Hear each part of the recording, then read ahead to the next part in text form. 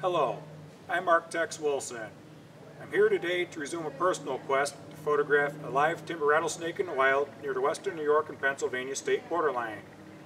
Before exploring Letchworth State Park, I have returned to Rimrock, which is located just off of Route 59 near the Kinzua Dam, approximately 11 miles east of Warren, Pennsylvania. This promising area was scouted last summer. A little further investigation was necessary before moving on to the next geographic point of interest. So let's enter the park and take a closer look at what should be excellent rattlesnake habitat.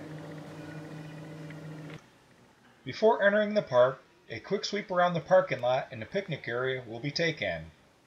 There are picnic tables, grills, and portage. Parking and admission to the park are free of charge.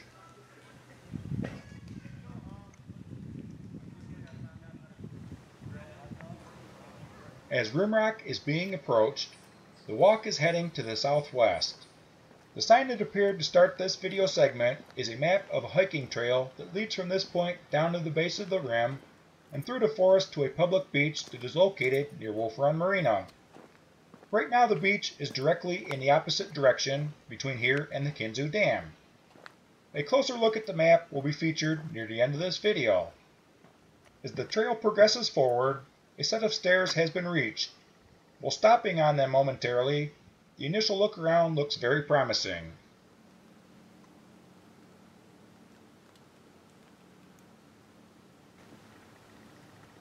I'm just below that initial set of stairs leading down to the trail and looking back at them. There are plenty of rocks here for basking and cover. The foliage above isn't too thick to prevent some sunlight from occasionally penetrating these rocks to warm them.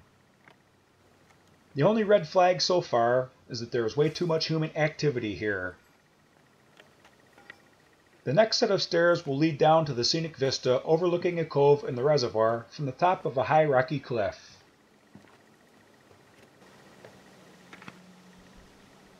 The scenic vista is starting to appear ahead as the descent down the stairs is being made.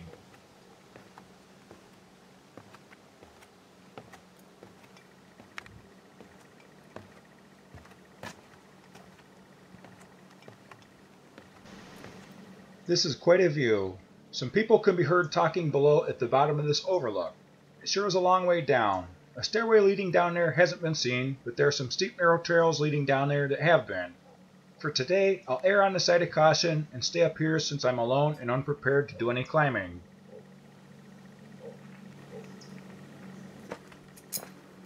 The hike will continue around the rim of the rock. This area is within the Ranger District. A local resident recently informed me that rattlesnakes have been found in this general area, and it looks rather obvious why.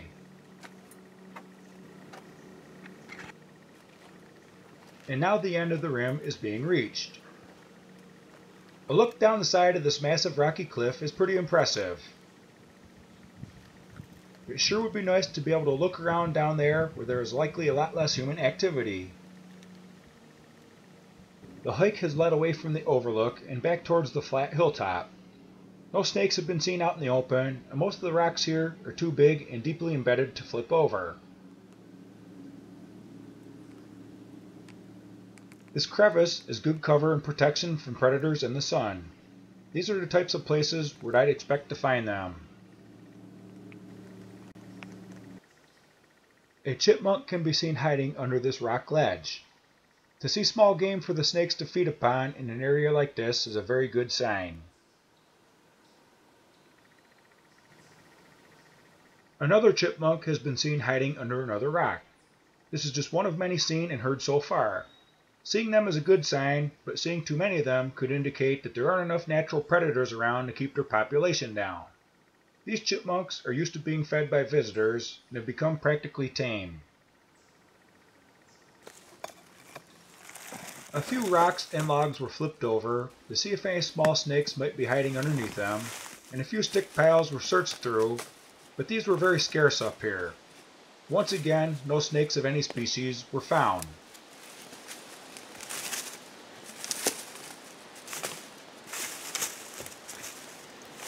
This is a final sweep around for a look at the hilltop terrain before heading to the next stop.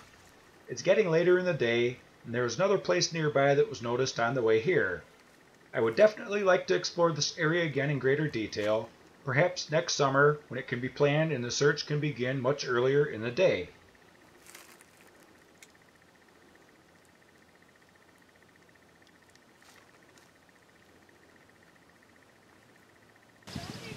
This set of stairs leads down to the base of the rim where the hiking trail continues.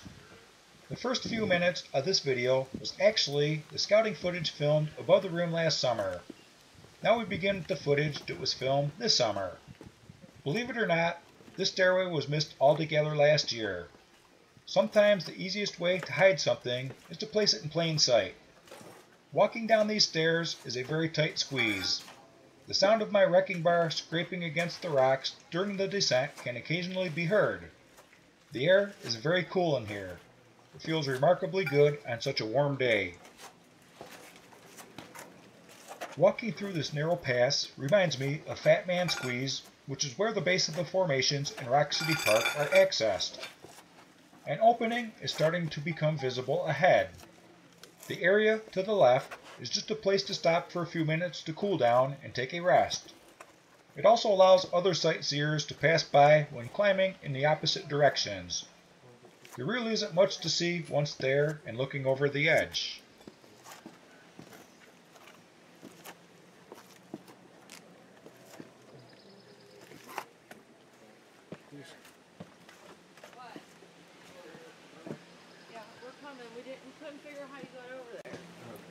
And now the descent will continue down the stairs to the base of the rim. The hardest part of the climb is over, and there isn't much further to go.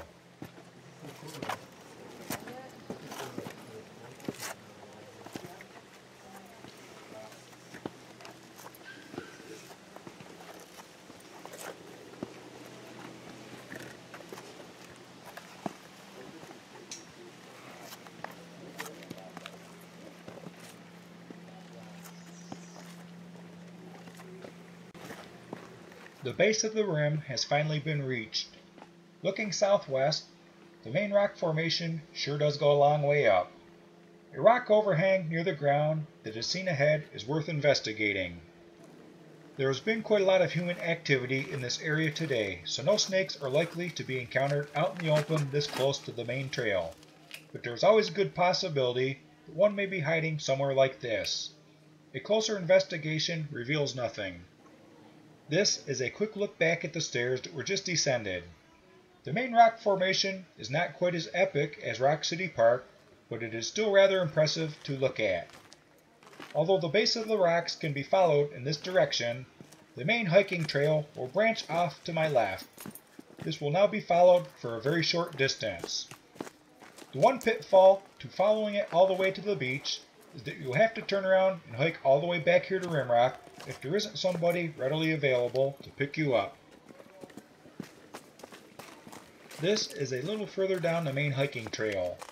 You'll notice a trail marker on a tree coming into view on the right. Since the trip was not made here to go hiking, a trip back to the rocks will be made to hopefully find some snakes.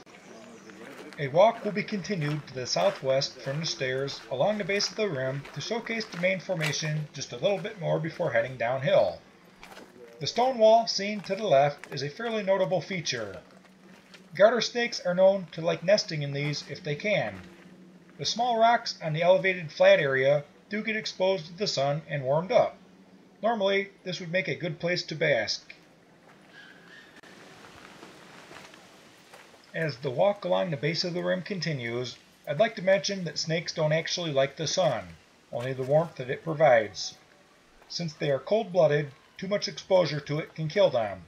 Warm places without direct exposure to the sun to warm up their body temperature are more preferable. There are certainly a lot of hiding places in these rocks.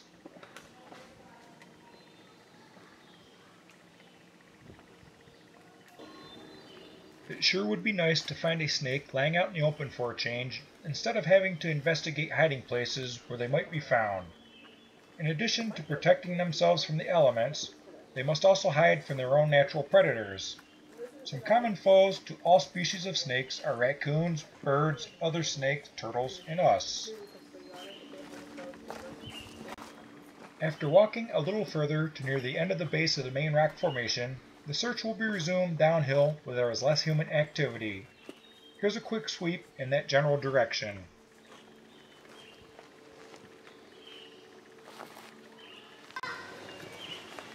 The terrain looks more promising and littered with many smaller rocks as the end of the rim is within sight. Most of these smaller rocks are too heavy and deeply embedded into the ground to be flipped over.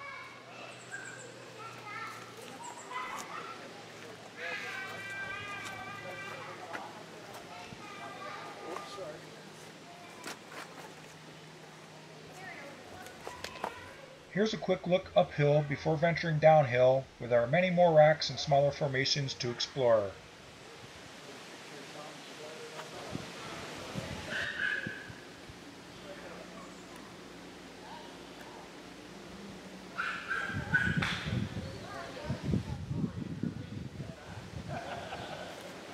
And this is awesome snake habitat.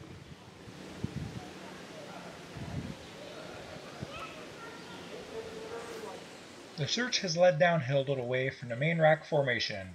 As you can tell, it's much quieter here. The odds of making an encounter here are much better since there is less human traffic and noise being made. A timber rattlesnake is the snake that is being sought, but the opportunity to see and film any species of snake will be welcomed.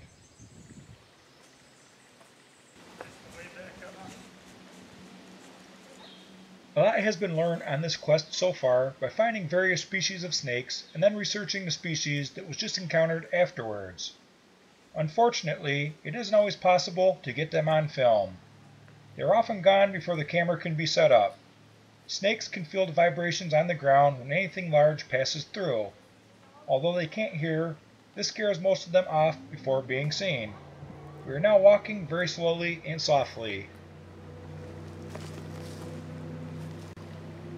In addition to an abundance of chipmunks, other forms of prey have been found that snakes will commonly feed upon, like this small toad.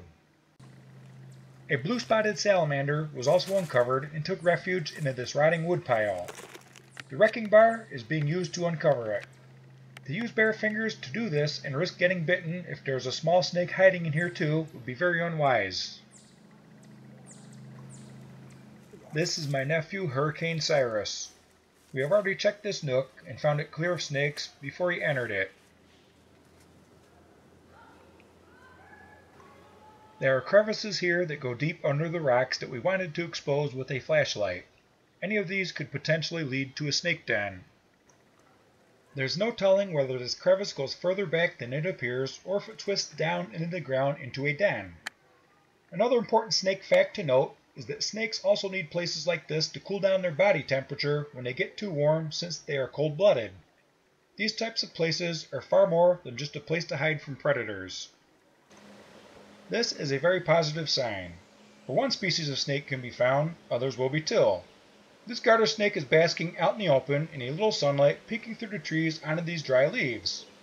There are 13 known species of garter snakes found in North America, their coloration varies widely by species and habitat, making some subspecies difficult to identify. They are also the most common species of snake found in North America. I would guess by the checkered pattern along its back that this is the eastern garter snake or Thamnophis sirtalis sirtalis. Adults are usually anywhere between 18 and 26 inches in length, but can occasionally get as long as 4 feet. They can also live 8 to 12 years in captivity, probably a lot less on the average in the wild. They share a den to hibernate with hundreds of other garter snakes for the winter. This den is often shared with other species of snakes as well. Notice the flickering of the tongue. This is how they smell, by tasting the air.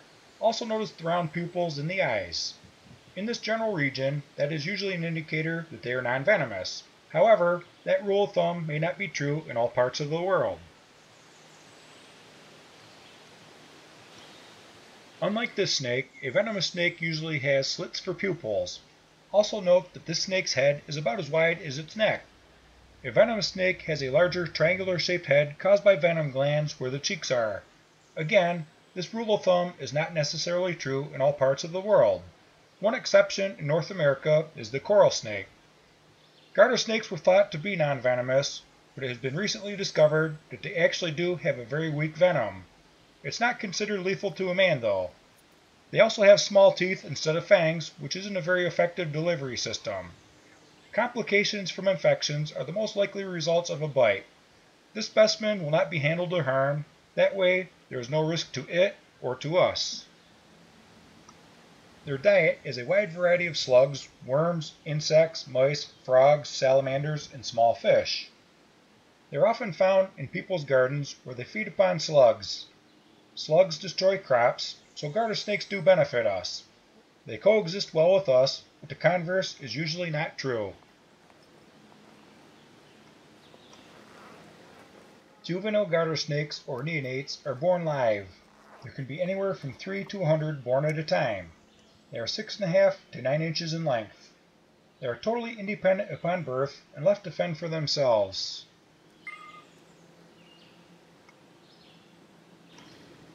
As you can see, they are very well camouflaged. If this snake laid still, it would blend in and look just like a stick. In addition to common predators, a couple of surprise predators that the neonates are prone to are bullfrogs and crayfish.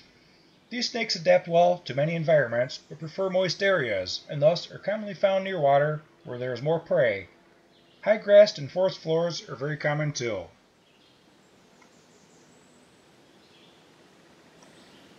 They also like basking on rocks that they can quickly and easily slip under to hide from predators at the first sign of danger. The garter snake gets its name from the distinct horizontal stripes found along their sides and along their spine, like a garter belt. The stripes are not as prominent on this particular species. When captured, they will secrete a strong musky smell in an attempt to discourage a predator from eating them, similar to what a northern water snake would do. To a strong-nosed critter, it must be a very unpleasant odor. Lastly, these creatures do not make good pets.